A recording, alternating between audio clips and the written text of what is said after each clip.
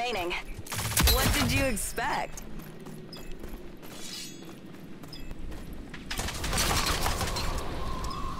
Andy, get him. I'm on the objective. Yo.